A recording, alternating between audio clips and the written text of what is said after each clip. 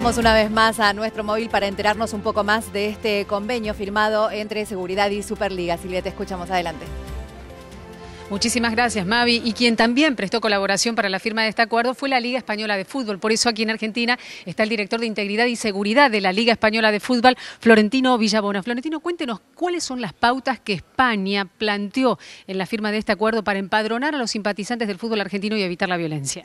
Bueno, dentro del convenio de colaboración que tiene el Ministerio de Seguridad con la Liga, hemos contribuido de alguna manera a explicar todo lo que hacemos en, la Liga Española y especialmente muy importante el intercambio de información con los dirigentes y sobre todo explicar nuestras experiencias a lo largo de estos años. ¿Cuál es una de esas características que usted nos pueda relatar en la práctica? Pues mire, nosotros lo denominamos grada de animación, que entran los, los, los eh, ¿qué iba a decir? Los, simpatizantes, pero sobre todo los que creemos conflictivos o han sido conflictivos a través de la, de la huella dactilar, que es un, sistema biométrico que de alguna manera tenemos identificado a todas esas personas. ¿Qué pasa en las inmediaciones de las canchas? Porque eso también se acaba de señalar aquí en, en este acuerdo, en esta firma del acuerdo de empadronamiento para la Argentina.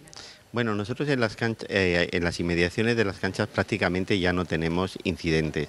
Siempre puede surgir alguno. Y durante la temporada pasada, durante la temporada pasada, durante toda la liga, hemos tenido única y exclusivamente cinco peleas, cinco peleas, y ninguna en el interior del estadio. Pero no obstante, tenemos una ley del deporte que sanciona económicamente muy fuerte esas agresiones o esas conductas inapropiadas. ¿Son sanciones únicamente para los simpatizantes o que involucran también a los clubes? Bueno, en, la ley del deporte eh, también los responsables y los organizadores también tienen su responsabilidad en el interior del estadio y aquellas conductas que están reflejadas en la ley del deporte, porque es parte fundamental en un dispositivo y es parte fundamental que el organizador tome las medidas apropiadas para que no ocurra nada dentro de las canchas, como ustedes dicen.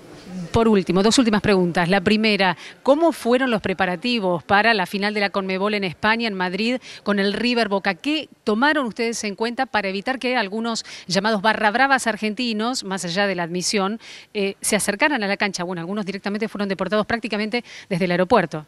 Bueno, esto es, eh, le corresponde al Cuerpo Nacional de Policía, pero yo siempre he dicho, porque he pertenecido al Cuerpo Nacional de Policía, que la seguridad estaba garantizada en ese partido, porque la policía española lleva muchos años en esto del fútbol, Champions, Copa de UEFA, y siempre le he dicho a Guillermo cuando ha estado allí a verme que estuviera muy tranquilo, que la seguridad estaba garantizada y al mismo tiempo la policía ha colaborado con el Ministerio de Seguridad, por lo tanto estaba completamente seguro que no iba a haber ningún problema. Por último, la pregunta deportiva, ¿River Real Madrid para la final de la Copa Internacional? Mire usted, políticamente eh, que gane el mejor, pero como soy español me gustaría que ganara el Real Madrid. Villabona, gracias. Muchas gracias a usted.